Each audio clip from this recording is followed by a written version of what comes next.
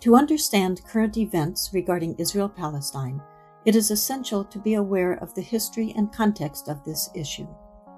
Originally, the vast majority of the population in what is now called Israel had been Muslim and Christian. But in the late 1800s, zealots from Europe and the US began a movement called Zionism, whose goal was to push out this population in order to take over the land for a Jewish state. For decades, this was a fringe movement, as most Jews around the world, including in the region itself, did not support it. Experts in the U.S. State Department and Pentagon opposed it, saying it would cause bloodshed and harm to the U.S. Eventually, however, this movement succeeded. In 1948, Zionist forces expelled hundreds of thousands of Palestinian Christians and Muslims and confiscated their land and property to create a Jewish state, which they decided to name Israel. Israel was now established in 78% of what had been mandatory Palestine. Then, in 1967, Israel launched another war and conquered what was left of Palestine, the West Bank and Gaza.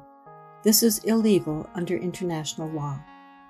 By the way, during that war, Israeli forces tried to sink a U.S. Navy ship monitoring the conflict, killing 34 American servicemen and injuring 174. Israel has now turned the West Bank and Gaza into open air prisons, controlling all entrances and exits and invading at will. Every day, Israeli soldiers invade Palestinian villages, beat and abduct Palestinians, including children, and destroy Palestinian property. Israel has blockaded Gaza for 14 years, causing malnutrition in children, huge unemployment, and desperation. 70% of Gazans, at least, are refugee families pushed out by Israel in 1948, their ancestral homes and land stolen by the new Jewish state. Finally, in 2018, Gazans began a mass Gandhian type march for their rights. Israel responded by deploying snipers, and it began shooting demonstrators during their weekly protests for over a year. All these actions by Israel violate international law. Stealing people's land is illegal. Imprisoning them is illegal. Shooting and beating them is illegal. Destroying their farmland is illegal. Not allowing refugees to return to their homes is illegal. And yet, U.S. politicians from both parties have repeatedly deferred to Israeli wishes. The Biden administration has largely retained policies put into place by Trump, whose peace plan would have permanently trampled Palestinian rights, setting Israel's theft of Palestinian land in concrete.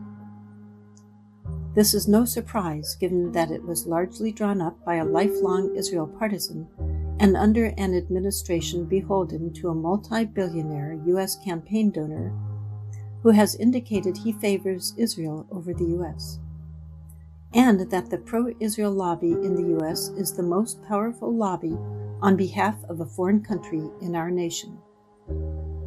This lobby has already procured the largest aid package in U.S. history $38 billion of U.S. tax money to Israel over 10 years which works out to over $10 million per day.